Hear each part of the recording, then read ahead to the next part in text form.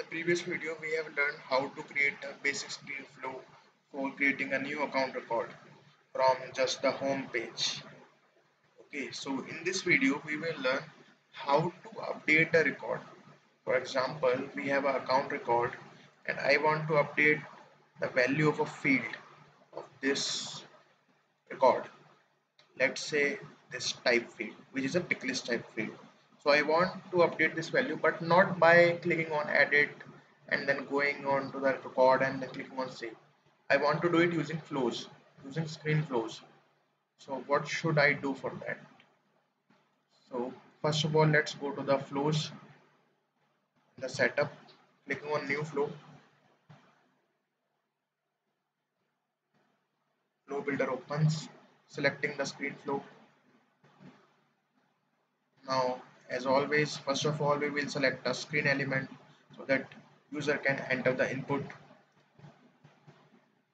So here what we want is we we want to update the value of the type field which is a pick list value. Okay so in the component we will select the input type as pick list. Let's give it the name as account type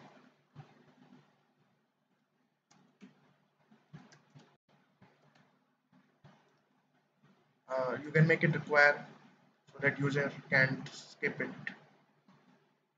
Now let's configure the choices.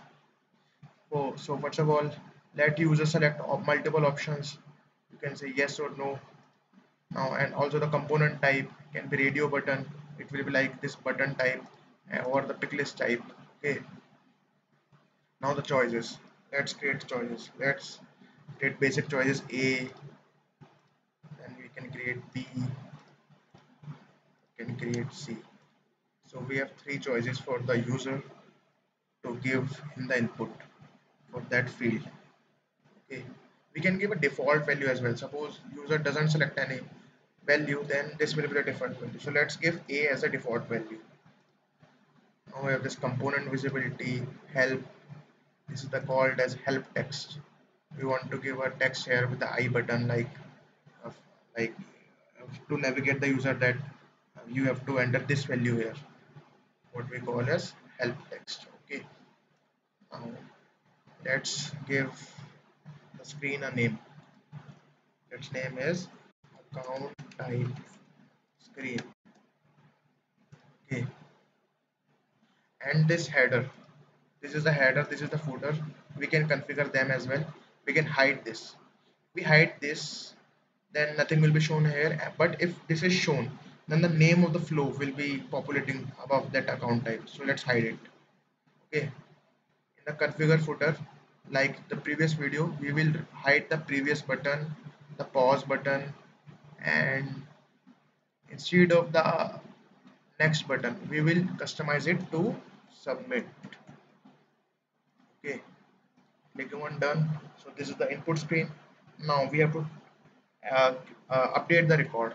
Which record we need to update? We need to update the account record with that particular field value. So in the element let's search for update record.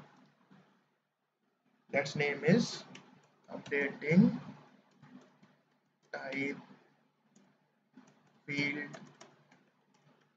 on account. This is our update record name. Okay. Now here this is very important. How will the salesforce know that suppose user has given the type field value as a then how will the user know that this the user wants this value to be updated against which account? There can be multiple accounts. So to map that value to a particular account we will use id what id is? This record account id account record id this id so we will map that according to this id okay. So you will understand it within couple of minutes. So you can ignore this for now. We will use it in the upcoming videos. So here let's first of all use this specify conditions. Which object we are using to update the record? We are updating the account record. So selecting account here. Now this is important. The condition. Okay. So in the condition what we will do is account id equals this is the field. I mean the ID of the account. Okay. So that means this record will be updated only when this ID of the account will be equal to the value which we have been specified which we are specifying. Okay. So for that we are not taking the value of the account from the user. It will be taken by default using this way. Clicking on new resource we will create a variable we will create a variable. Let's name is record id okay. This is the variable name.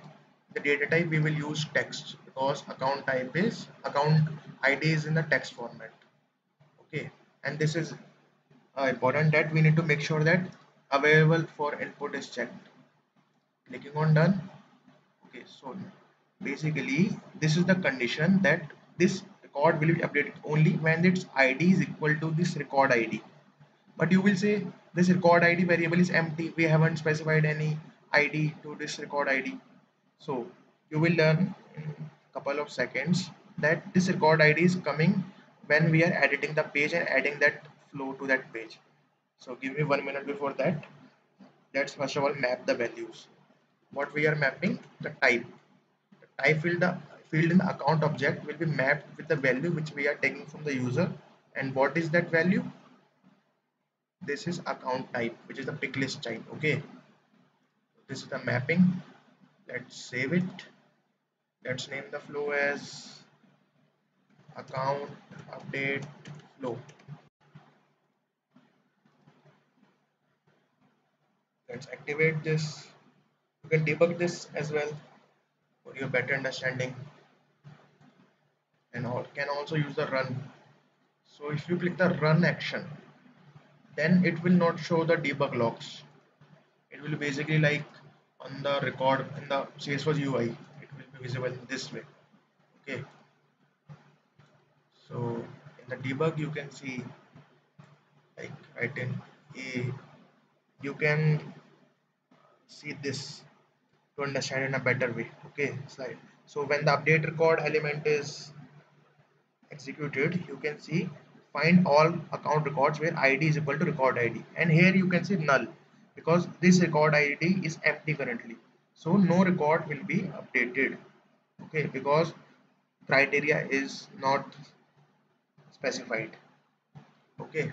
So now let's add this account update flow to our salesforce ui so now in the previous video we have learned to create a new account. We have added just on the home page this flow account name.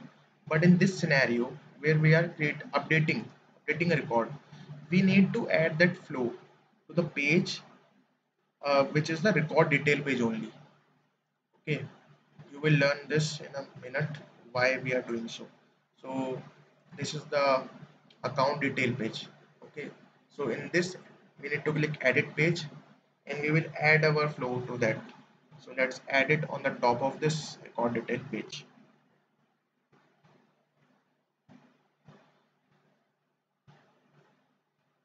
Clicking on the plus icon. Selecting flows from the standard one. Now we will select our flow. This is our previous flow account creation flow. We are not using it here. We will use account update flow. Now here it is can read it carefully. Optionally, enter values for these flow variables. What is this flow variable? This flow variable is record ID which we have defined in our while we were creating our flow. Okay. So and also you can see only variables that allow input access are supported. So that's why if you remember I have checked that allow input checkbox so that it is visible here. Okay. Now on checking this pass record ID, ID to this variable what will happen is this record id variable which we have declared will get the value of that particular account on whom uh, detail page we, we are. Suppose this account name is ab so here the account id of ab will be stored in this record id and it will be used to calculate that condition whether the condition is successful. And then only the record will be updated this is the way click on save.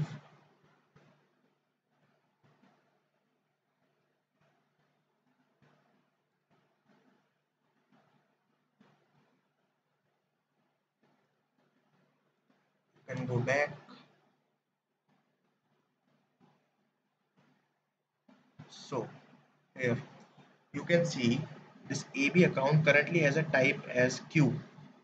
Type value as Q but if I change it from here what will happen is suppose I select here B and click on submit. You will see automatically it's getting updated here because what is happening? This is create uh, updating the record. And when it is updating the most important when it is updating when the condition which we have specified in the flow is satisfied. And what is the condition that the id is equal to the record id this id is the id id field on the account object which is storing this value by default. There is no role of us in that but this this its value. It's where the things is decided. So here we have declared a variable called record id and this record id variable has nothing here.